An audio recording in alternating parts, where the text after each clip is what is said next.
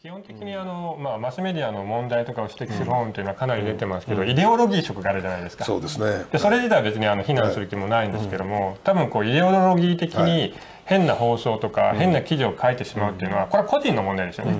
記者さんとかあるいはディレクターさんの問題なんですけども。問題なのはそこに例えば虚偽とかあるいは極端に本来の放送法で公正中立を定められているテレビが極端に偏った放送をしても誰も処罰されないと。で批判が来たら、えー、まあ何ですか？言論の自由への報道の自由とかですね。そういうことを言い出して一切あの処分されないと。責任も取らされないと。その構造自体が問題だろうと思ったわけですね。で多分あの本来ですね一般の企業並みに例えば価値のある、まあ、品質の悪い、あるいは害をもたらすような製品とかサービスを出した企業はそれこそマスメディアがですね寄ってたかって叩いて潰しますよね。ただそれによって良くない企業っていうのが淘汰されていくっていういい面もあるんですけどもことマスメディアに関しては一切それがなかった。ないですね。そこがあの産業構造という部分ですね。まあ、あのそういう意味でですね、まあ、あのここの中にもねあの触れていただいてるんですけれども、まあ、私たちが今進めてる NHK のいわゆるまあ捏造問題ですねジャパンデビューの問題もこれあの言及してるんですけれどもやっぱりそういうチェック機能えーいうものがないというね、あの非常に不思議な構造なんですよね。ねあの市場原理じゃないんですよね、これね。あのたとえもうとんでもない不良情報商品番組を提供したとしても、えー全然あのひなんですか不買運動もね起こせない。NHK が例えばとんでもない番組作っても我々はいつも払わなきゃいけないみたいなね。こういう構造になってるんですよね。一。ちゃんをつけると必ず NHK が入ってきちゃうっていうですね。そうそうそう。いうことなんです。ね。というようなことがありましてですね。その問題なんですけれどもね。あのこの中でねあのちょっと目次をちょっとご紹介しますとねみ皆さんぜひですねこのまあこれ買ってもらうのが一番いいわけですけれども、えー第1章が、はい、ちょっと見えるかな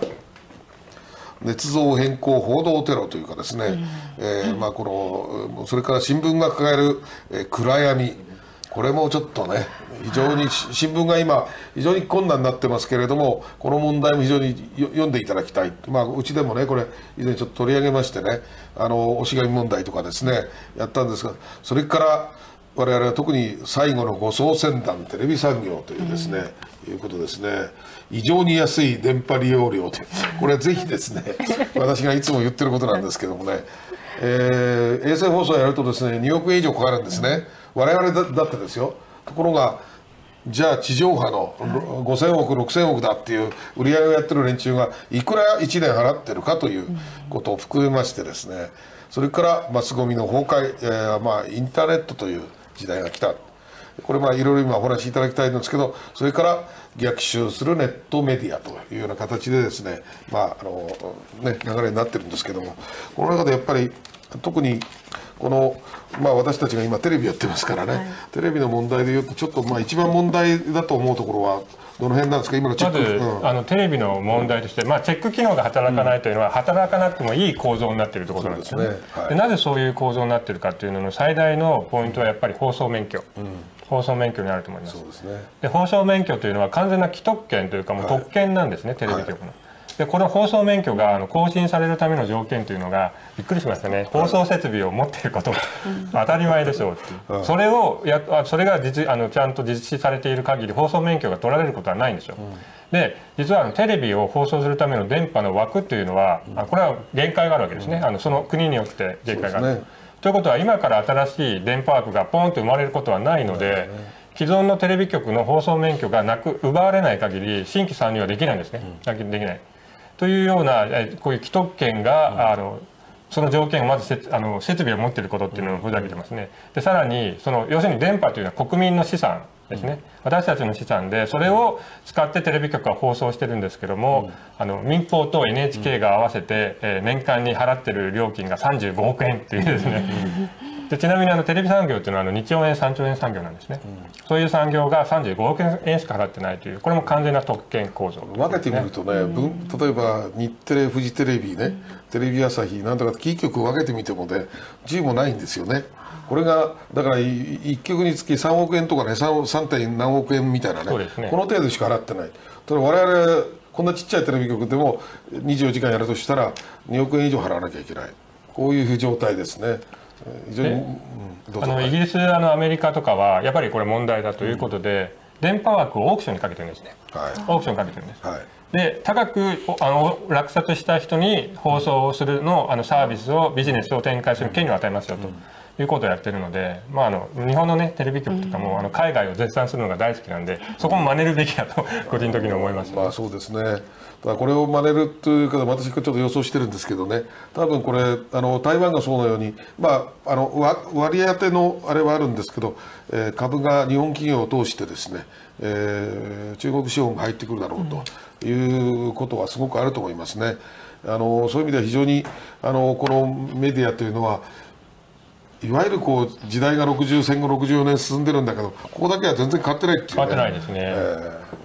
ー、あのマーケティング方式も非常に独特で、はい、基本的にはあの作ったものを出しますよっていう、はい、これだけなんですよね。そうですね。であの今の市場っていうのは一般の企業とかであればあのまず市場のニーズを拾い上げて、それに対してどういう製品を出すか、どういうサービスを出すかってやるんですけど、全くやってないっていうのがすごいですよねテレビっていうのは。新聞もですけどね。えー、だからあのこれがね面白いな。それからもう一つ言うと下請け構造がね、もう完璧になってるっていうかですね多分8割から9割ぐらいですねあの下請けになってると思いますねこれ全体的に、え企画から制作まで、えー、いうことなんで、まあ、そういう意味ではこの本をぜひお読みいただいてですねあの今一体マスメディアというのがどうなるかあるいはこの将来の問題でねで、ね、えー、今インターネットのねこれあの水谷さんそのインターネットのね世界の中でねかなり、えー、なんていうか、まあ、超有名になってきてるとかねあれなんだけども。その辺の関係はどうどう考えてますか？今ちょっとぜひここにも書いてあるんですけども。そうですね。あのまあテレビ局が、まあ、新聞あるいは新聞もそうですけど、うん、今のようなあの特権構造とかですね、うん、あるいはあの、まあ、護送船団って書きますけど、はい、そういう構造がなぜ批判されなかったかというとその事実を国民が知る術がなかったんですよね。ねだってそれを知るためのチャンネルっていうのを新聞とテレビが独占してるわけなので。でこれがあの、まあ、こういう構造を成り立たせた根源だったんですけども、まずそれがインターネットで破れてしまった。もう一つはあの海外からの、ね、情報とか、あるいはいろんな新聞社同士の記事の比較とか、そういうようなあの高度なあの情報の分析とか収集が一般の人ができるようになったっていう、一般の人がメディアになってるんですね。そうですねでこうなると、まあ、だからこそ私もこういう本が書けたんですけれども、はい、もうその構造は大元は崩れてるというのが現実だと思います。そうですね、それとさっきちょっとおっしゃってたね。私が面白いと思うのは、えーまあ、その放送免許というね問題は施設を持っていることだと。いうことはあの今ですねインターネットの中で動画配信がね、はい、ある程度の、まあ、ゼロではだめだけどある程度の小金を持ってればですね自分で動画発信をねでき、ね、できる時代になってる、うん、ということはこれから考えるとですね大変面白いアイディアやコンテンツを作る能力がある人がある程度の小金を持てばえーまあ、いわゆる小さなですね放送局っていうかですね、まあ、放送局と言っていいかどうか分かりませんけどそういうものができるってことですよね。テレビ局はできるでしょう、ね、できますね。間違いなくできると思います。だからこの今言ったようにですね実はこの私たちのこのチャンネル桜もね衛星放送でやってますけれどもこれはある意味で言うとあの、えー、公共放送として電波としての一つのねあの責任というのを取ろうということでまあやってるんですけどもよく言われるんですよ。インターネットだけでやればいいじゃないかと、うん、そっちの方が大きいだろうと。言うんですけども、まあ、そこの部分が、えー、もう一つはまだインターネット自体がねもうあと23年は全体的にかかるだろうとテレビ化するのはですねいうことで今やってるんですけども、もう流れはそうですよね。そうですね。うん、あの例えば今おっしゃったような動画配信サイトの、はい、有名なのでニコニコ動画ってありますけども、はいあね、あちらの生出演というのに私、うん、あの参加あのまあ出演したんですけども、はい、1万人が見てるんですよね。うんこれ相当な数で、で面白いなと思ったのはあのニコニコ動画の場合は、あのフィードバックが、まあユーザーさんが見てる人がコメントを書き込むとそれが画面上流れるんですね。そうですね。流れるんです。あれはかなり強烈で。いやそれはね私なんかあのうちの方もねあのある意味で言うと黙認っていうと変な言い方だけども結構立ち上げてねいろいろ見る人いるんですけどいろんなボンボンボン出てきますね。あのなかなかコメント面白いっていうかね、うん、悪口からね褒めまでね。しかも生出演する人がしてる人がそれを見れるんで かなりインパクトがそれを見れる？見れるんですよ。あなるほどね。もう一つ面白いなと思ったのはあの画面上でアンケート取れるんですね。でこうアンケートでみんながクリックしてその答えがパッてリアルタイムに出てですねそれに基づいてこの放送が進むみたいな要するにこうインタラクティブなんですよね、まあ、日本語で言うと双方向的ですか。らこれはテレビとか新聞じゃ全くありえないあのなんでコミュニケーションの仕組みですよねだからそういう意味で言うともうまだ今ね規模がそういう意味では動画の配信っていうのは小さいですけどももうあと1年2年すればねもう相当できるようになるだろうと、うん、なるとえーテレビの役割、えーというのはタイムテーブルがある何か見るためには8時にそこにいなきゃいけないとかねいうことから見ると、えー次第にそのいつでもどこでもというね、えーこういう究極のサービスに圧倒されていくでしょうね。そうでしょうね。あとはあのユーザーさんが多分求めてるっていうのは、あのみんなが知ってることじゃなくて自分が知りたいこと、まあ、あの要するに多品種少量生産のような形に情報もなってきてると思うんですけどもそれあのテレビは対応できないですよね、コストがかかりすぎるから、さっきあの1万人がニコニコ動画見ましたって言いましたけど、その1万人の人を対象にするだけで本当は商売成り立つんですよ、コストが少なければ、一人でやれば余裕ですよね。そうですね。そういうようなビジネスが多分今後求められていくんですよけれども、まあ、テレビとか新聞に対応能力はないですね、コストがかかりすぎていると。そうですねあのもっと言えばですね例えばこれ今1時間半番組やるわけですね、私たちのこの、まあ、変な言い方だけども予算ですね。これいわゆる1時間半のワイドワイドショー的なね、えーことをやると一体テレビ局でどのぐらいかかるかって言ったらうちの10倍や20倍じゃ効かないと思いますね、えースタッフの数から含めてですね。こういうことがこういう場所である程度ここだってコストかかってるわけですけども、えーいわゆる地上波でやってるそういうものに比べればねはるかに安いもっと言えば今おっしゃってたように個人でカメラとあれと用意しちゃえばね、あの簡単にできますよねこれ。うん私だからあの、選総選挙の,、あの最後の日に、あの麻生総理の演説を池袋に見に行ってきてです。ねそれを撮ったんですよビデオカメラ。で,、はいそれをニコニコ動画に載っけたところ、はい。あの5000人が見たんです。ああいっぺんに。ねこれはですね十分な数ですよねビジネスの場合として、はい。ただテレビ局は5000人相手じゃ商売にならないと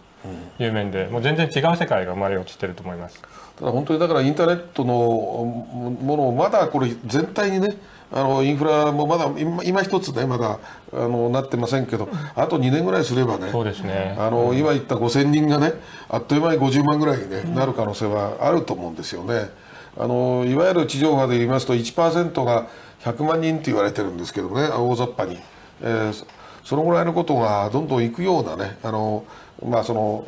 インフラ整備ができればですねインターネットの。これいくと思いますね。これあの将来のねそのメディアのあり方、まあ新聞も今行き詰まってきてるじゃないですか。これちょっと新聞についてはどんなことをまあこれ書いてありますけどもちょっとお話をはい。新聞の場合はもともとテレビの特権構造っていうのは、多分新聞がモデルなんでしょうね、あ親会社だったじゃないですかそうですね。今もそうですね。はい。であの例えば記者クラブの問題とか、あるいは広告の問題とか、その後、まあこちらはい。に、ちょっとこれをまあ見てみましょうか。はい。これがあの新聞のビジネスモデルを成立させている要素です、こっちがあの新聞です、はい。でそれが左それによって左が成り立ってます。あすみません、右ですかね、が成り立ってますよって話なんですけど例えば記者クラブとかですね、広告効果。広告効果というのは、広告を、まあ、企業が打ちました。それに対して売り上げがいくら上がりましたっていうのが分からない、これ誰にも分かんないと思うんですけども、でもインターネットは分かるんですね、はい。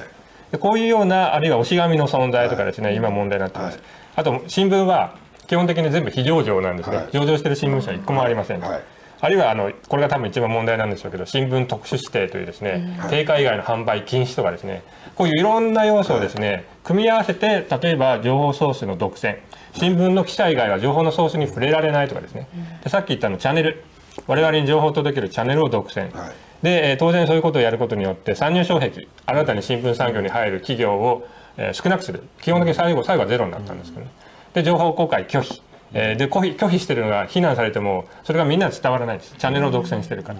で最後が、えー市場競争の拒否、まあ、価格競争を拒否してるというですね、こういう構造が成り立ってるんですけども、まあ、これですね基本的に今全部崩れちゃってるんですね。この右側が。だから記記者クラブなんてこれ記者クラブに行って記事を書く、し記者さんが書く前にみんな知ってるんですよ。だって観光庁がホームページに載せてますからそれ、でも情報の独占なんかない。バレちゃってるんですよね。そっちの方が早いですよねホームページ見た方がで専売制による高いシステムこれもいろいろ歪み出てますこの新聞特殊ってこの2つ多分もうすぐ、えーこうひあのひ批判の声が高まって変わるんじゃないかなと、で株式非上場とかですね今まで誰も知らなかったのもインターネットでバレてきてる。で押し紙の存在もそうですね。で一番多分ポイントなのはこれテレビも同じですけど広告効果、で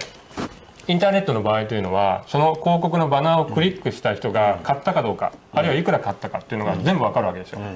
ところがテレビと新聞は全く不可能と、でさっきあの5000人でも商売になるよって言ったのは、ターゲティングされた5000人に対して、こういう人たちですよ、でこの人たちが御社の製品を買うかどうかっていうのを全部トレースできますよ、っていうような売り方をしたら、企業、広告つけるんですよね。そうでしょうね。具体的にね、はっきりはっきりするはっきりするんで。ということで、ですねあのテレビとかあの新聞には不可能だったビジネスモデルっていうのが、まあ、グーグルもそうなんですけども、インターネットだと簡単に成り立ってしまう。これ簡単にっていうのはお金の面で簡単になんですね。これは結構大きいですね。大きいですね。まあ、それ将来今ね今そういうことでそっちやっぱり進まざるを得ないだろうし企業自体も費用対効果考えた時ですね具体的にちゃんと成果が分かるものを当然欲しがるわけですからね。これ水橋さんのねあの考える10年後ぐらいのね、はい、あのまあ、こういう情報産業ですね。これはどんなイメージ持ってるかなっていうのはぜひ産業ですか、うん、えっと、あの例えばテレビが消えますとか新聞が消えるとは全く思わないんですよ、う。ん、思わないでしょうけども、うん、そこにはおそらく競争がもう発生していて、消えるとこは消えると、で新規参入するとこは新規参入すると、で当然インターネットとも公正に戦っているというような状況ですね、で当然例えば新聞であれば、本当に限られたユーザーが欲しがるのであればそのユーザーさんたちは高いお金でも払うんですよね、そういうモデルの新聞というのも出てきてるでしょうね、テレビはちょっと電波の、ね、枠があるんで難しいんでしょうけども。あの実際ですね、まあ、今ちょうどお話しいただいたんでねそのことなんですけれども今言ったチャンネル桜もですね今その今ちょっと指摘された必要だと思ったらお金を払ってくれるというね。あのつまり中国の問題とかいろいろあの制約を持ってですね地上波が報道できないことを報道するということでこの存在価値を認めてもらってるっていうようなねことでだいぶそういうものでいろんなことで細分化されてくるでしょうね。あの専門チャンネルとかね、あのそういう情報がまあ、トータルでとにかく、まあ、総合雑誌系のものから専門雑誌がたくさん出るみたいなねいう形になってくるんでしょうね、これね。それぞれのメディアがあの変更すればいいんですよね。で宣言するんですよ。私はこういう立場です。私はこういうふうに変更してますと。それであのお互いに競争して、で生き残るかどうか市場が決めればいい話なんで今でもメディアの問題っていうのは変更してるにもかかわらず、あの公正命題ですってやってるんでこれは問題なんですね。